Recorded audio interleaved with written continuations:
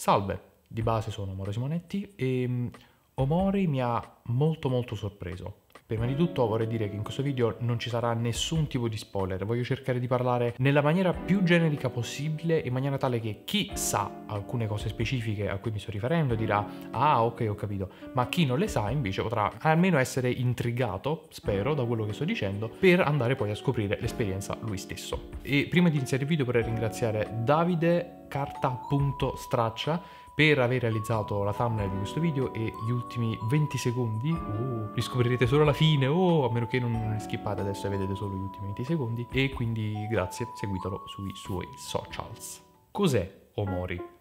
Omori è un videogioco, uscito il 25 dicembre 2020. Io stesso l'ho conosciuto in questo modo, credendo che la cosa finisse qui. Invece la storia di Omori come videogioco risale al 21 aprile 2014, quando la sua autrice, chiamata Omoket, inizia una campagna su Kickstarter, chiedendo 22.000 dollari per portare a compimento la sua visione. Ho voluto sottolineare come videogioco perché in realtà Omori come personaggio ha una vita editoriale ancora più lunga, nato come webcomic da parte della stessa autrice addirittura nel dicembre del 2011. Tutto questo per far capire che il personaggio aveva già un'identità molto forte, oltre che già un discreto successo, anche se questo non vuol dire assolutamente che questo videogioco sia campato di rendita. Il trailer associato alla campagna Kickstarter è indubbiamente già molto particolare, immediatamente accattivante l'alternarsi di grafica classica da RPG, chiaramente realizzata tramite RPG Maker, con immagini di tipo analogico, che si tratti di animazioni marcatamente fatte a mano o fotografie di oggetti dal vero, compresse ed editate a tal punto da sembrare anche loro disegni, ma dall'effetto finale molto più estraniante. Impossibile non menzionare anche la musica di sottofondo, My Time di Bo N. Insomma, il gioco sembra avere già una personalità estremamente decisa, un tono a metà tra il sognante e il pauroso, e tutto ciò fa immediatamente presa sul pubblico, sia chi era già familiare col personaggio, sia i curiosi dell'ultima ora. In questo modo Omori ottiene più di 200.000 dollari a fronte dei 22.000 iniziali, e la lavorazione ha inizio, con una data di uscita indicativa fissata per il 2015. Da questo punto in poi le notizie iniziano a diventare abbastanza scarse, gli aggiornamenti si fanno sempre più radi e giustamente le persone diventano sempre più arrabbiate perché giustamente sono stati soldi dati per questo progetto. Dopo un po' la rabbia è diventata giustamente frustrazione, ma a un certo punto la frustrazione è diventata semplicemente rassegnazione. Questo progetto sembrava non voler più vedere la luce. Passano letteralmente 5 anni. Siamo a novembre 2020, quando improvvisamente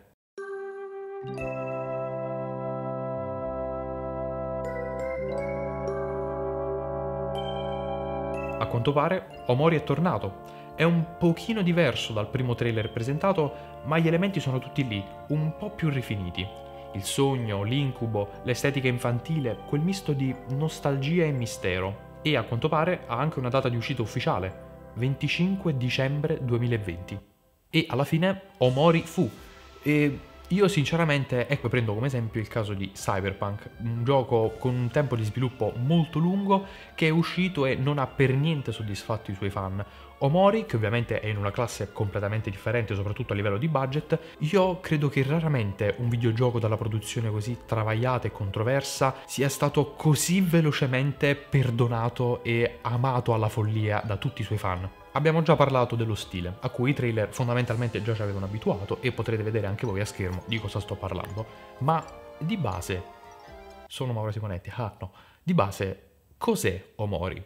Omori può essere inteso come un RPG barra horror psicologico, il sistema di combattimento è mediamente RPG, mediamente nel senso che è a turni, quindi come tanti RPG che già abbiamo visto, ma ha una particolarità, ovvero il fatto di usare le emozioni. Felice, triste e arrabbiato sono tre status che possono essere dati al nostro team oppure inflitti al nemico. Questi tre status si interfacciano tra di loro in una sorta di carta sassoforbice e quindi appunto noi potremmo giocare attraverso il dare a noi un'emozione e al nemico un'altra per avere determinati bonus. Ovviamente ci saranno anche dei malus, ma appunto il gioco sta proprio in questo, ovvero nel bilanciare questi vari status e nello sperimentare. Un'altra particolarità è una barra che possiamo trovare in basso che può essere riempita subendo dei colpi e che potremmo usare sia per realizzare degli attacchi in coppia tra i personaggi, che saranno attacchi singoli e specifici per ogni singola coppia, così come riempiendoli invece al massimo, ovvero fino a 10,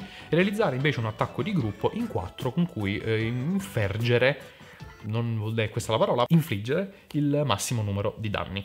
Tra l'altro, una cosa molto divertente, quando uno dei nostri personaggi sarà messo KO, diventerà un toast. Uh, questo non ha senso in italiano perché in inglese to be toast vuol dire um, essere è un po' simile al nostro italiano essere fritto fondamentalmente e quindi qui letteralmente diventi un toast e per riacquisire vita tu eh, devi usare la marmellata da spalmare quindi sul toast. È una cosa che mi fa molto ridere. In italiano avrebbe senso se tu diventassi un uh, panzerotto e niente, sarebbe, sarebbe molto molto divertente questa cosa. Tra un combattimento e l'altro ovviamente si esplora. Esploreremo questo mondo molto vasto e molto molto colorato, popolato di tanti di questi personaggi molto molto pittoreschi, con cui ovviamente possiamo parlare, possiamo interagire, eccetera eccetera. Ognuno dei nostri personaggi avrà inoltre un'abilità in particolare con cui riuscire a esplorare ancora di più questo mondo, magari sbloccare determinate cose e il bello è che è una cosa anche molto positiva di questo gioco, il gioco è molto bravo nel riuscire a dare ai personaggi delle abilità specifiche molto collegate a quella che è la loro personalità. Noi infatti durante il gioco impareremo a conoscerli fondamentalmente e in base al modo in cui noi li conosciamo noi possiamo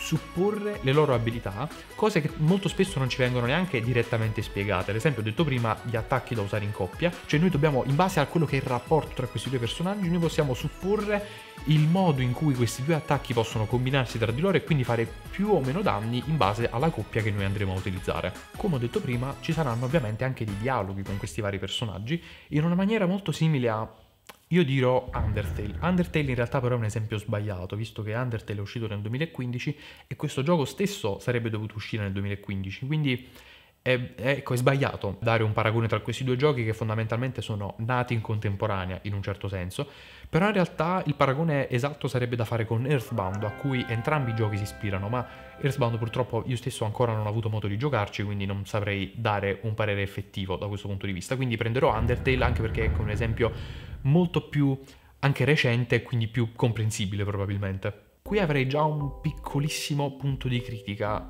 uh, verso Omori, ovvero il fatto che molto spesso da questi dialoghi noi abbiamo un'idea dei personaggi che in realtà è molto generica. In che senso? I personaggi con cui ci interfacciamo e quelli del nostro team soprattutto sembrano più tipi di personaggi, ad esempio il fratello grande comprensivo, il fratello piccolo quello magari un po' più canaglia, la ragazza un po' più piperina, credo di non aver mai usato la parola piperina fino a oggi. Quindi ecco, non ci danno forse delle idee di personaggi più di tanto approfonditi in questo particolare caso, anche se su questo specifico aspetto ci torneremo dopo. A questo punto potreste chiedervi dove cazzo è l'elemento horror? Io ho detto che questo è un RPG barra horror psicologico, tutto quello che ho detto non mi sembra fare particolarmente paura. Questo perché ho parlato solo di quella che è la prima metà di Omori. La seconda metà di Omori, che è forse anche quella più interessante da questo punto di vista, è la storia di apparentemente un'altra persona, Sunny, o un personaggio che noi possiamo in realtà chiamare come vogliamo. Io ovviamente l'ho chiamato Mauro. Um, tra l'altro, storia divertente, io l'ho chiamato Mauro con la M maiuscolo e Auro scritto in piccolo e, ehm, però in realtà tutti i personaggi del gioco sono scritti con tutte le lettere maiuscole, quindi ero l'unico personaggio sfigato, tutti erano Omori, Mary, eh, Hiro, poi c'era Mauro. E quindi niente, era divertente questa cosa. Probabilmente è divertente solo per me, ma mi basta. Questo secondo mondo è un mondo molto più realistico rispetto a quello che abbiamo visto finora. E questo e il mondo sognante, tra virgolette, che è il primo che abbiamo incontrato, sono estremamente collegati. Ovviamente la trama di Omore sta proprio nello scoprire come questi due mondi si collegano e come l'uno riesce ad avere effetti sull'altro. Inoltre, ecco l'elemento horror dopo aver visto il mostrazzo magari scopriamo cose nuove. Oh mio Dio! E ecco, anche da questo punto di vista, in realtà chiamare Omori un horror mm, non è completamente giusto. L'elemento horror rappresenta forse il 20% di quella che è tutta l'esperienza, almeno per quanto riguarda la trama principale. Ma forse proprio per questo, dato che appunto gli elementi horror sono così sparsi e quando ci sono colpiscono così forte, forse proprio per questo fanno ancora più impressione. Tu sai che sta arrivando, non sai esattamente come, non sai esattamente quando, ma sai che prima o poi tra l'altro eh, parlo dal mio punto di vista, io per primo eh, mi, mi, mi, cago molto facilmente sotto e ci sono un paio di immagini in particolare di Omori che ancora sono bruciate nella mia memoria e mi tormentano nel sonno, però questo parlo con te, Omoket, e col team, c'erano un, un paio di punti in cui mi veniva quasi da dire, cazzo ci potevi, secondo me qui ci potevi andare ancora più duro, cioè ci, magari non dico un suono improvviso perché effettivamente questo gioco non ha nessun tipo di jumpscare nel senso classico e di questo sono molto molto grato, però appunto c'erano un paio di immagini che potevano essere rese ancora ancora peggio, io faccio il gesto del, del coltello, del rigere il coltello nella piaga, capitemi, e mm, ovviamente questa è puramente una cosa personale, però Inoltre parliamo di un'altra cosa di cui non sono ancora riuscito a parlare, ovvero la colonna sonora, composta da Pedro Silva, Jamie Lin e Bo En. Avrò probabilmente sbagliato pronunce di tutti, quindi vi chiedo molto molto scusa. Tra l'altro, cosa divertente, la colonna sonora, l'album che comprende tutte le canzoni, dura 4 ore e il gioco ne dura una ventina nella sua campagna principale. E è, è molto, è molto. In Omori c'è un casino di musica, cioè veramente quasi una musica per ogni luogo che visitate, per ogni personaggio con cui parlate. Cioè a volte mi veniva da dire un po', un po too much, fra, nel senso stai calmo, però effettivamente se pensiamo al fatto che ecco questo gioco è stato in sviluppo praticamente 5 anni e questi compositori magari hanno continuato a lavorare su determinate cose anche se il progetto era quasi morto fondamentalmente, è molto più comprensibile questa cosa. Colonna sonora molto molto abile nel saper passare con molta facilità da uno stile all'altro, appunto da un momento sognante ad uno più inquietante, da uno più nostalgico ad uno invece molto più minaccioso, quindi ottimo lavoro a tutti.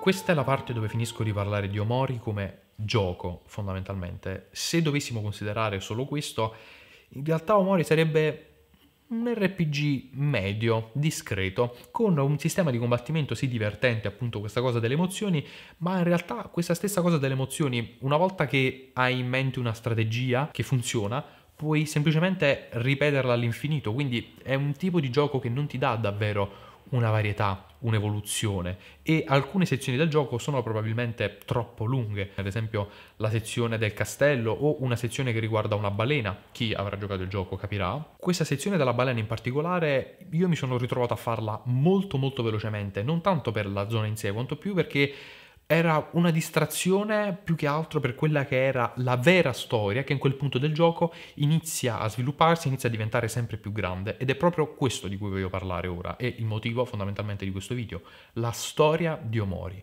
Omori ha una storia molto molto forte di una forza che non mi aspettavo, sinceramente, proprio nelle tematiche, un tipo di storia così tragico che raramente io vedo in film di oggi o anche solo in libri, ad esempio. Omori è fondamentalmente una storia sulle emozioni e sui ricordi, in particolar modo sui ricordi, su come ci aggrappiamo ad essi, specialmente nel caso in cui la vita reale è dura, difficile da sopportare e in particolar modo se noi associamo la vita reale a un qualcosa di estremamente negativo e addirittura traumatico. Quindi Omori è un gioco sul chiudersi in se stesso, sul negare anche la vita reale. La parola omori deriva da ikikomori, un termine giapponese per descrivere un tipo di persone che decide di chiudersi in casa, chiudere tutti i contatti con il mondo reale e magari ecco farsi arrivare il cibo via posta, comunicare più o meno solo tramite internet e il computer.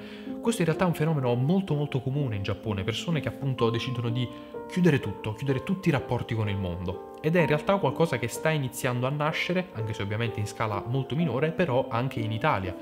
E soprattutto era una cosa che stava nascendo già prima della pandemia, quindi capite ora il senso del discorso dove voglio arrivare. Cosa c'è di più contemporaneo di questo? La storia di una persona che si chiude in se stessa perché non riesce, perché riesce con estrema difficoltà ad affrontare il mondo attorno a lui. Ripeto, in questo caso in via metaforica, ma fisicamente è quello che stiamo vivendo tutti noi in questo momento, ovviamente in maniera differente e con implicazioni completamente differenti. E ovviamente non voglio dire che Omoket, la creatrice del gioco, abbia pensato al gioco con questa finalità. Ripeto, lei aveva concepito il personaggio nel 2011, tra l'altro affermando di averlo concepito già come gioco, quindi era un'idea che era nell'aria già da molto tempo, ma potete capire come probabilmente il fatto che sia uscito in questo periodo particolare, è uscito nel dicembre, 25 dicembre 2020, tra l'altro ecco il giorno potremmo dire più importante per quanto riguarda i ricordi positivi che ognuno di noi può e non può avere, è innegabile non fare questo collegamento, ovvero che il gioco abbia avuto un impatto ancora più forte proprio perché è uscito in questo periodo storico in particolare. E questo non lo dico io, lo dice il fatto che il gioco ha avuto un impatto sui suoi fan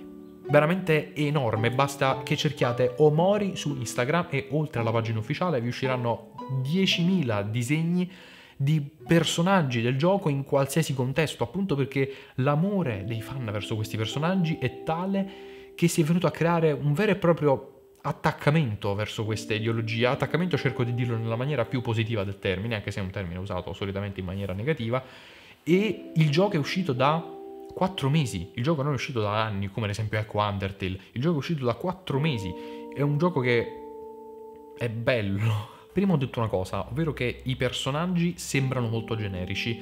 Questa cosa che all'inizio avevo percepito come un malus, per me successivamente è diventato un bonus. Ovvero i personaggi non sono generici, sono delle, appunto, come ho detto, sono delle tipologie di personaggi, ma sono delle tipologie di personaggi così forti e che noi conosciamo così bene perché sono appunto dei tipi di persone che noi possiamo aver incontrato per tutta la vita che appunto diventa estremamente facile per noi proiettare i nostri stessi ricordi positivi e anche quelli negativi su questi personaggi. E quindi vivere in un certo senso in simbiosi con loro. Nel gioco stesso c'è una sezione che si ripete più volte con accezioni differenti di un album di fotografie. Sfogliare album di fotografie per accumulare, riorganizzare o scoprire determinati ricordi e sinceramente per me ogni volta è stato molto molto forte. È una delle sezioni che ricordo con più forza e con più calore dell'intero gioco, appunto per il mio modo di proiettare determinati miei ricordi e determinati miei sentimenti